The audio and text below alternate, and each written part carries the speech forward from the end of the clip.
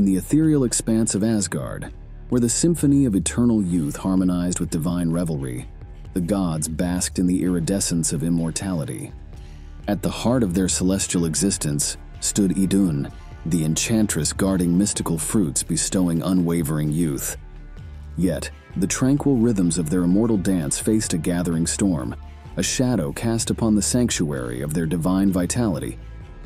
Prepare yourself for the forthcoming Odyssey, the magnificent saga of the kidnapping of Idun.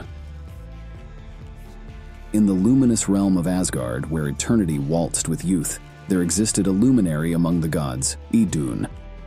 She was the goddess of youth and rejuvenation, her role intertwined with the very fabric of divine vitality. She was a guardian of the enigmatic fruits that bestowed eternal youth upon those who partook. Idun, with her ethereal grace, held in her hands fruits that transcended mere sustenance. These mystical treasures, often assumed to be apples but more accurately described as epli, which were a myriad of berries or nuts, were the elixirs of immortality for the gods. In a realm where the passage of time bore no weight, Idun's orchard held the key to the gods and goddesses' immortality.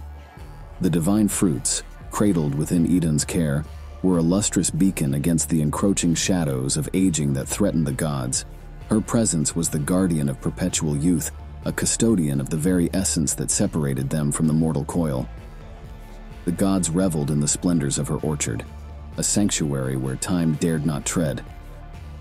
However, even with her divine status, the story of Idun made a sudden turn when she became a victim of Loki's usual antics. Within the golden embrace of Asgard's halls, a quest unfurled like an ancient tapestry, weaving destiny's threads across desolate mountains far from celestial grace. Odin, the Allfather, regal and wise, led a fellowship of gods into the rugged unknown mountains far away from Asgard. Beside him strode Loki, the god of mischief and a weaver of schemes, and Vili, the brother of Odin and one of the creators of the Nine Realms. Their journey wove a tale of peril, where food and sustenance eluded them like elusive warmth in the chilling embrace of desolation. Through craggy peaks and unforgiving landscapes, they pressed on, hunger gnawing at their immortal souls. The air crackled with the anticipation of the unknown, and the travelers confronted the harsh reality of scarcity. The quest for survival became a test of camaraderie, as the gods grappled with the essence of their divine nature in the face of elemental challenges.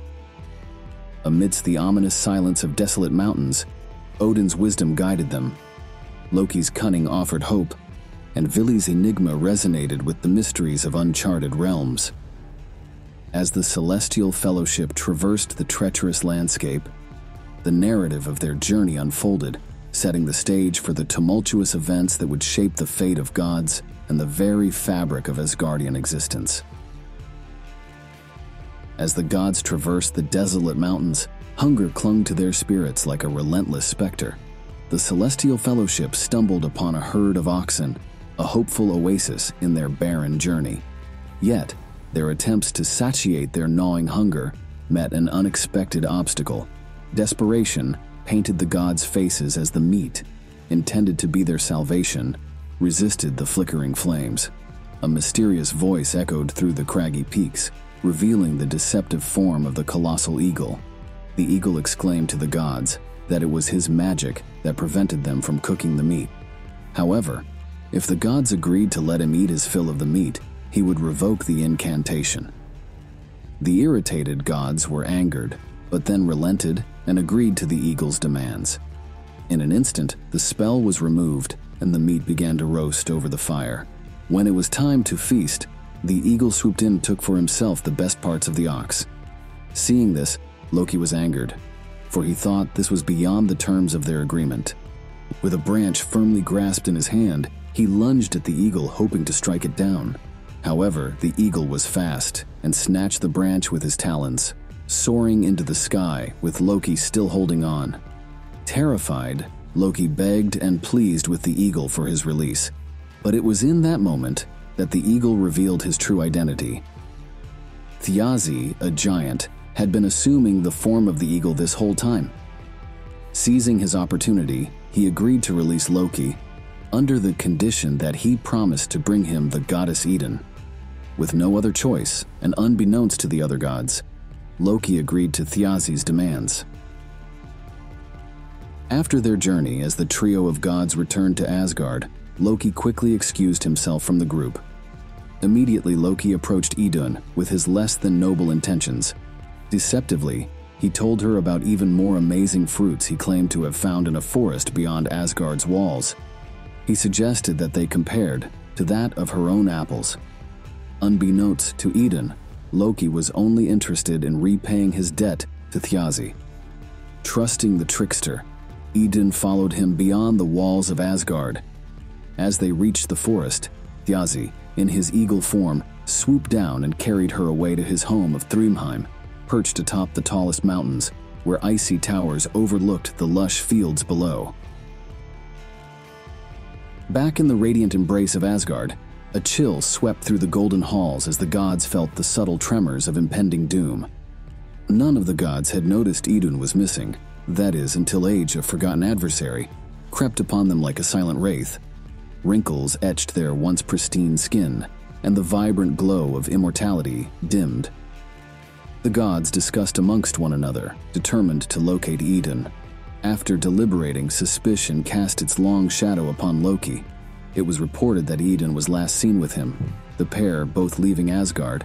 In the hallowed halls, the gods assembled, their worry a palpable force that resonated with the very foundation of their divine existence. The gods had seized Loki and threatened him with all manners of pain and torture if he did not share Idun's location. Finding himself terrified once more, Loki, under the penetrating gaze of scrutiny, unfolded the somber truth.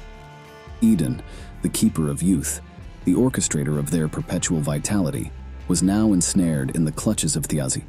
The revelation struck the gods like a thunderbolt, an ominous echo reverberating through their immortal souls. Panic danced in their eyes as the realization of impending mortality gripped their hearts.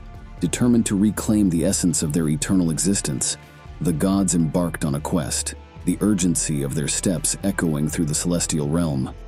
The search for Idun, the beacon of their everlasting youth, had begun, and with each passing moment, the threads of fate tightened around their divine destinies.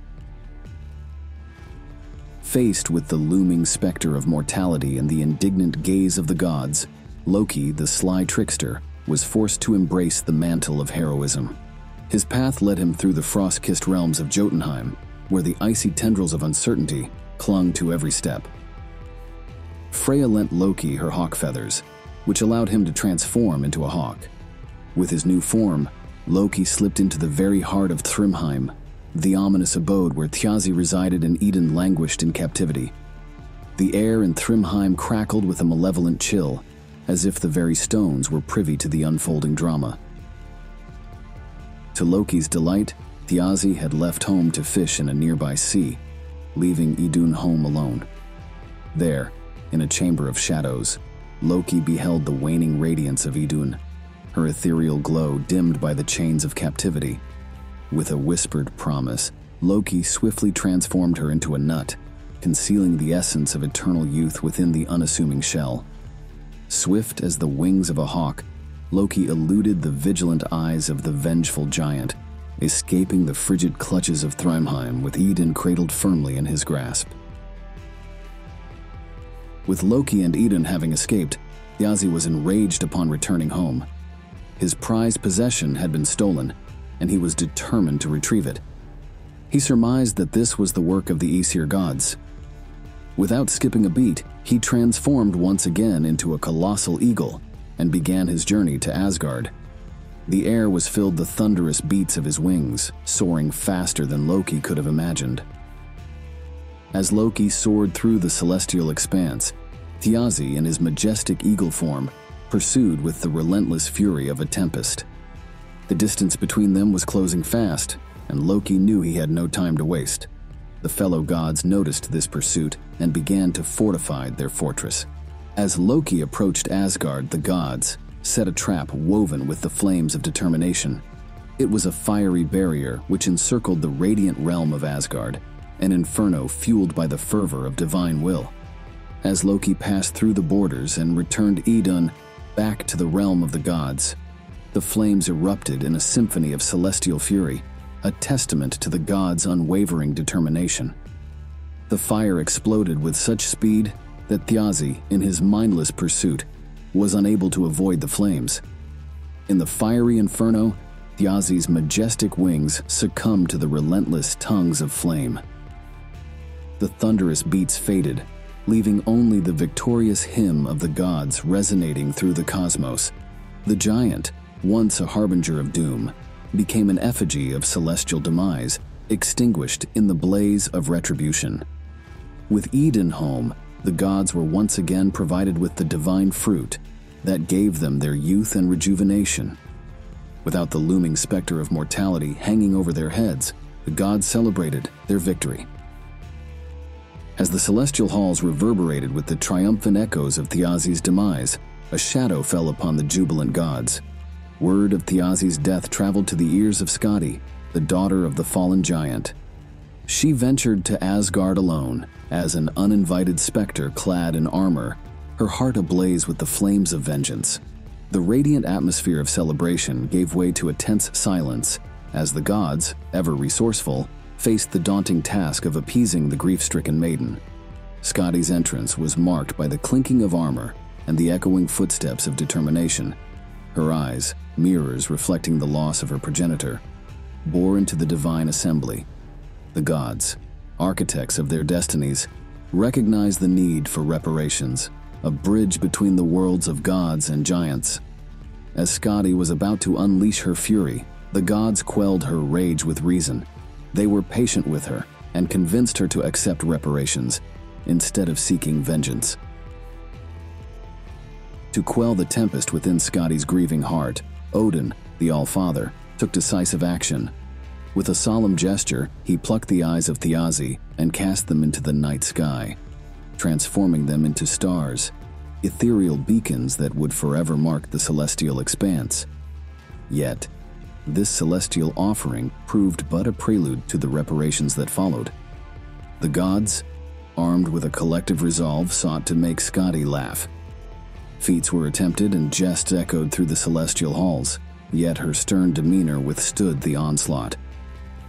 It was Loki, the eternal trickster, who emerged as the harbinger of laughter in this part of the reparations.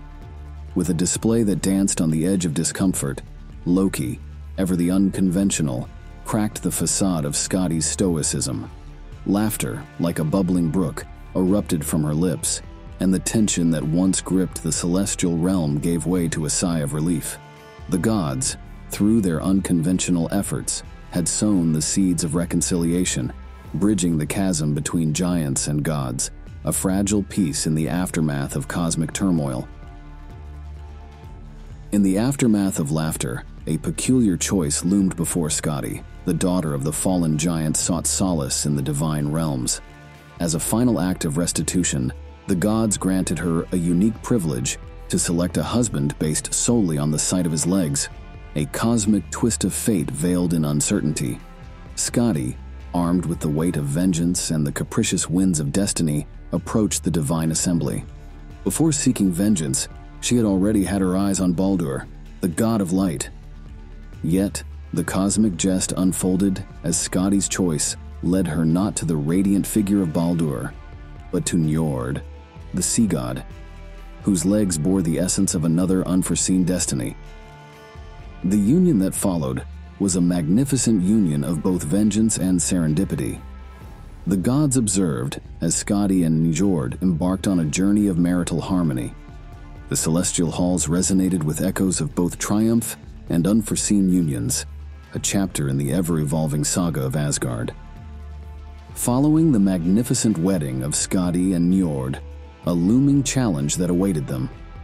The couple had to decide where they would reside. There was a stark contrast between where Njord and Skadi called home. Njord lived on a sun kissed beach, called Noatun, while Skadi's home couldn't have been more different. Her home of Thrymheim was a dark, foreboding place at the highest peaks of the mountain, where the snow never melted. Even knowing this, the pair still attempted to appease one another. First, they spent nine nights in Thrymheim, after which Njord declared his experience as loathsome. He was accustomed to the sounds of the swans by the water, rather than the howling of wolves on the mountain. Next, they spent nine nights in Noatun, where Skadi had her own complaints. She expressed her dislike for the cries of the seabirds and found it unbearable, resulting in her inability to sleep. Njord and Skadi were both adamant about their living quarters, and after a short lived union, Skadi declared that she would return to the mountains alone, and the two parted ways. As the gods returned to their ageless existence, the echoes of Idun's kidnapping and Skadi's vengeance lingered in the halls of Asgard. The divine realm had weathered storms of triumph and tragedy, each thread woven with the indomitable spirit of the gods. The grandeur of Skadi and Njord's union had masked the looming challenge that awaited them the vast disparity between Njord's sunny abode, Noatun, and Skadi's foreboding mountainous realm, Thrymheim. Their attempts to reconcile the disparate worlds proved futile, with each realm a testament to the inherent nature of its divine inhabitant. Asgard remained forever altered, woven with threads of triumph, tragedy, and the enduring resilience of gods facing the cosmic ebb and flow of destiny. The ominous shadow of mortality, once looming over their divine existence, retreated into the recesses of cosmic memory.